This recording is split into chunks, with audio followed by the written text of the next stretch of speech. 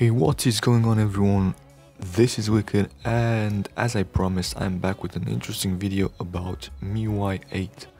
Yeah, that's right, MIUI 8 is finally available for our i9505 device and today I will show you how to install it, how to load up Google Play Store and finally the look and feel of this beautiful software. You know how I feel about MIUI. It just looks so clean, fresh and updated and now with this update nothing has changed. A little disclaimer before proceeding to the flashing part. This is still a beta release and it's based on a Chinese variant of MIUI 8, so you will find lots of Chinese apps after you flash the ROM.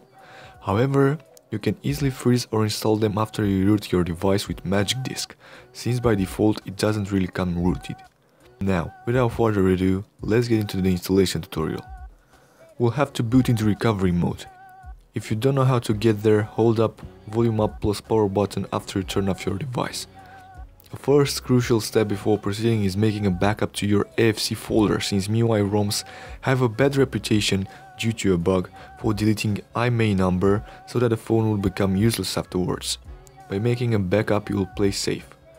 If you just want to test MIUI 8, make sure you backup your current ROM via an Android backup before. We'll then proceed to the flashing part, but firstly we'll need to do a factory reset. Then go and select the zip with the ROM itself and swipe to install. That's all you need to do into recovery mode. Simply reboot your device and let's check out the ROM.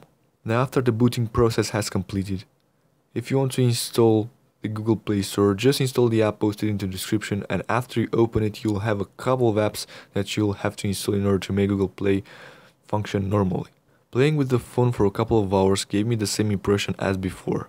MIUI remains one of the most good looking software ever made, with lots of theming options, wallpapers and apps. Everything just looks so sexy and crispy. And now you may wonder how it performs, if it lags, if there were any stutters during the making of the video. And the answer is no, there weren't any drawbacks.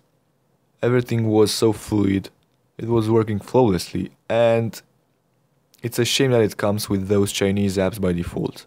It just kinda ruins a little bit of the user experience. Speaking of gaming, I downloaded my favorite game, Alto's Adventure, and I was really surprised to see no lag during the gameplay.